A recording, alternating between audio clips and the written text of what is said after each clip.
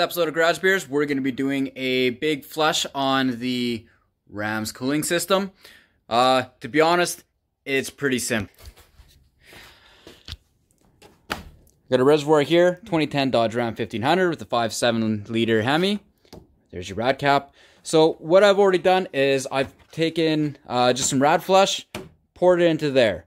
Uh, you can either just do let it run and then let the engine run for about 15 minutes. Have the heat on so that that way all the coolant can still circulate to the heater core, which is way back there, and it pulls all the crap out. You literally dump it out, and then what you do after that is generally put water, deionized distilled water, uh, till it kind of comes all clear, or at least run at least one cycle of just water through so you get all the cleaner out. Then you top it back up with your coolant water mix. General 50 50, 50 coolant, 50 water. Again, distilled, deionized. You don't want to put uh, regular tap water because the minerals and all that, that's the crap we're taking out. Long and short of it,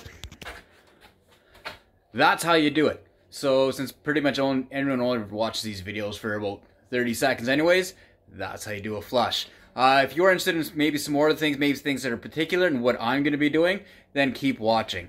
So, like I said, uh, let it run for a bit. The longer the better. Uh, 15 minutes is kind of the basic. If you want to get a good flush, you can actually run it for a few days. Because I live out of town, uh, I went to good old Canadian Tire. I dumped the stuff into the right there because this guy was full.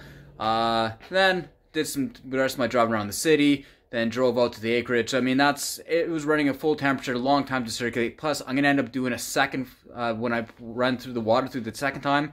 I'm gonna put some more flush through it because uh, I'm also gonna be doing the brakes at the same time when I go to do uh, the braking period. That's what I'm gonna do to let it the second time of the flush run through a little more. But the next, what we're gonna do next is we're actually gonna drain the fluid after it kind of cools down because it's hot. I'll show you where the actual drain valve is on the radiator for these. Quick note, it's just on the driver's side at the bottom. Just another note, uh, it, this is going to make a mess. I've never drained coolant from a vehicle and not just spew everywhere. So be prepared for that. Have buckets, a lot of catch pans. Be prepared to clean it up. And when you get it all drained, don't just dump it out. It is toxic stuff take it to wherever that you can take like used oil, used cool and stuff like that, and they'll recycle it or do whatever they do with it. Also, don't leave it lying around, especially if you have animals, dogs, stuff like that.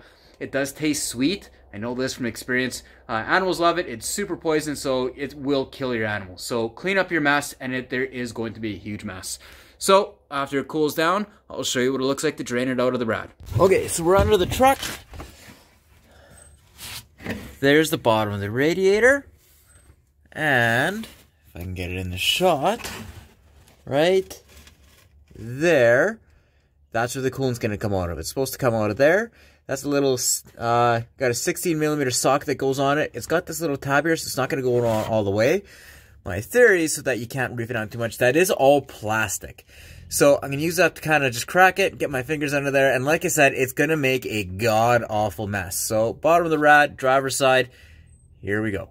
Right now your cooling system's pressurized, so if you still have this on, that's gonna not let it come out very easy. So I've got a funnel down there to kind of try to hold it, help everything get held into place. But I'm gonna release this, and that's gonna let it come out a lot faster. And here's probably where I'm gonna start making a giant ass mess.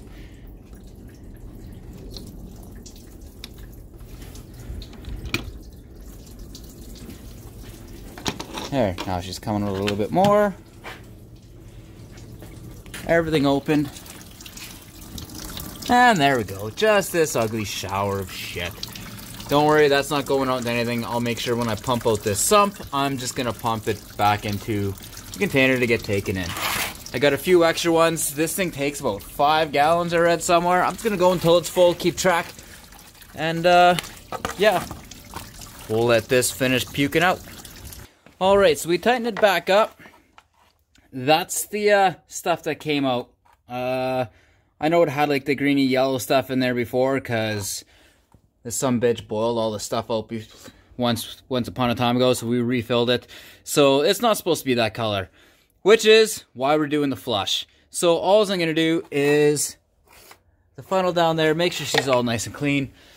I'm going to refill this up with all the distilled water. Plus, I'm going to run one more uh, flush through it. Uh, yeah, we're to fill it up, make sure she's all topped up, get the air bubbles out. And plus, because I've also got another video where I'm changing the brakes. So while I'm doing that to kind of heat it up and help circulate it through, is when I'm to go do breaking the brakes.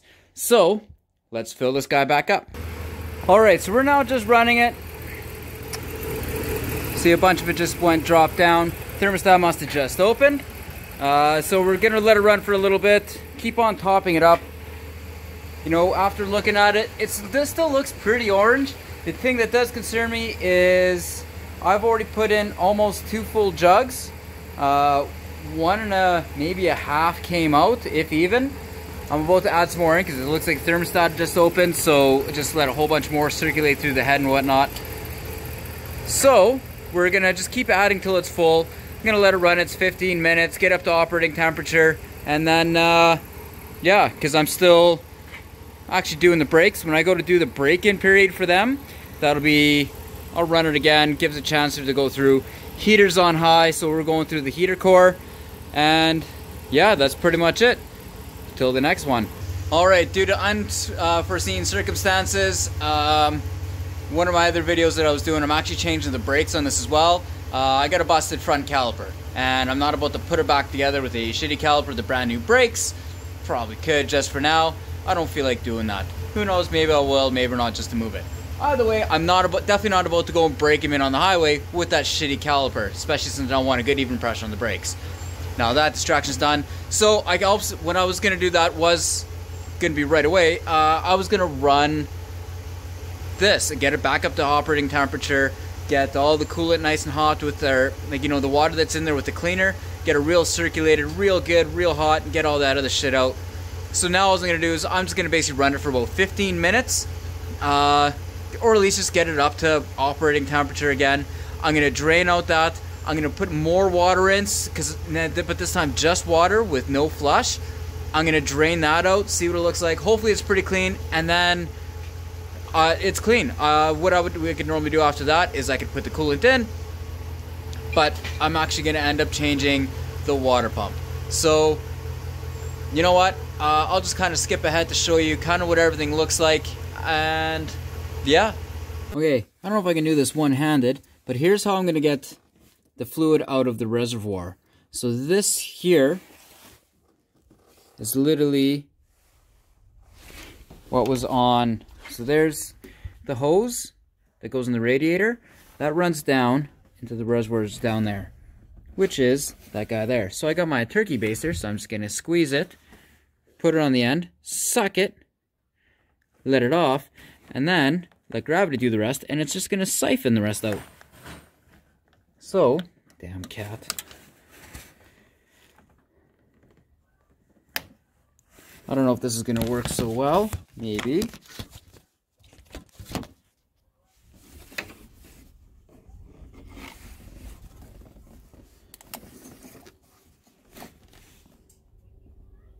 Go ahead, put it in. We creates a bit of suction, point it down.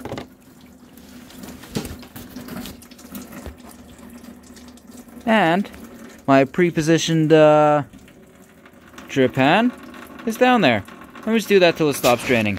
Pretty neat. Get might as well get all that crap out of uh, the, the overflow reservoir as well. All right, so we got coolant in. Gonna run it for a bit. We're gonna try to burp it. So I gotta filter my 50-50 blend. Now when you're doing this, what you're gonna wanna watch out for, you're gonna wanna watch your temperature make sure she's not to spike. If all of a sudden you just see she gets hot and hot and hot, that means it's just an air bubble. So, uh, you know, you just got a few things you can do. It'll eventually kind of work its way out. You can squeeze the top rod hose, to try to pop that out, rev it up a little bit, up to about 2,000 RPM for about a minute, and then just helps circulate it all around. So we're to do that, try to get the level up as much as we can. We know how much we took out. Uh, there's a lot more in the block, I'm not to lie. I could have taken out the plug in the side. I actually did try. It was seasoned there as all Holy House. I didn't want to round that out. That'll be a later problem. Uh, I got, but with the old coolant, as diluted as it was, So we got most of the stuff out, putting a lot of fresh stuff in. I'm pretty sure we got most of the flush out, at least more. There shouldn't be anything that does any harm. And we got all new mixed stuff in. So I'm just letting it warm up a bit. Then I'm gonna rev it up to 2000 RPM for about a minute, 1500, 2000, kind of just fluctuate. We really want that thermostat to open because as soon as that opens, that's gonna let the rest of the coolant go ahead and circulate and that's what we're looking for. And then just keep an eye on it, keep on topping it up, and I'm gonna go for a drive later. All right, that was it for the rad flush. All the coolant was added, drove around, kept an eye on the level, make sure there's no spikes, and you know what? It all worked out well. Hope you liked this video, hope you got some value. Uh, click like, subscribe, helps me out. Other than that, have a good day.